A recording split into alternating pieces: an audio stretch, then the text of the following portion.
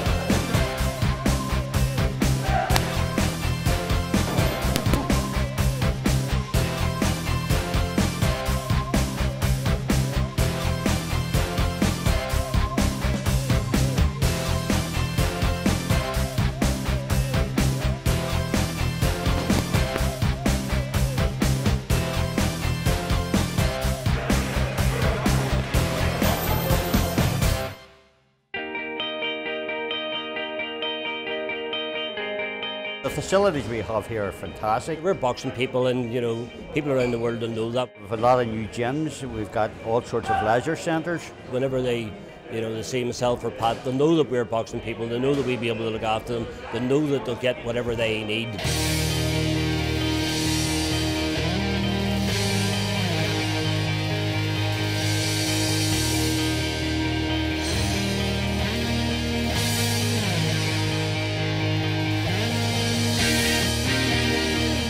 It's the most welcoming of places. I've always said that actually of all the days that I spend out of London, out of the headquarters, coming to Northern Ireland is probably the most uplifting of those days because great public support. It's a country that really welcomes people. It really does genuinely open its heart to, to visitors.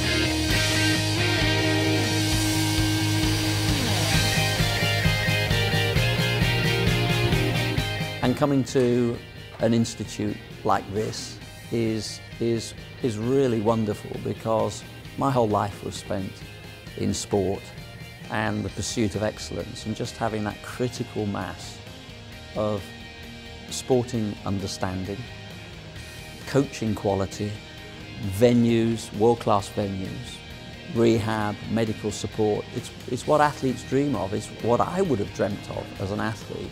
And having that all under one roof is a fantastic advertisement for Northern Ireland.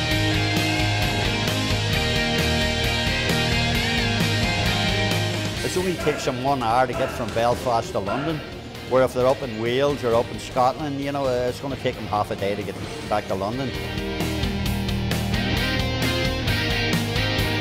We'll have lots of guys here if they want personal, you know, private sparring sessions in, in the gyms. That's what the gyms are here for. You know, everything. They'll be accommodated in every way possible. You know, that's medical, um, the dentistry, um, anything that the teams need will be on hand. We have plenty of class hotels.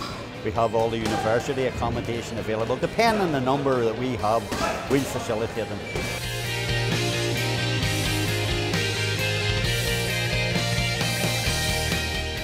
Giant's Causeway, with, the Glens of Antrim, with the Mourne Mountains. Uh, with plenty of sightseeing places to go to. And the hospitality of the Irish is, is fantastic. Like Belfast is a big boxing tradition. We went this year, for instance, to the Commonwealth Games, where we came uh, away as the top nation with five medals. And the Irish team uh, came second to Russia in the European Senior Championship. So everyone knows Ireland, everyone knows Northern Ireland. So I mean, there's no reason why they can't come if the package is right. I've, I've been a member of the, the Irish high performance team for some time and um, having travelled quite a lot to other international uh, competitions, various countries, uh, uh, I haven't seen a facility as good as this one here. And it's just not the only one. There's a number of these facilities across Northern Ireland that are of a similar standard. I mean, if someone can come here and pick up a wee bit of Belfast grit, well, well and good.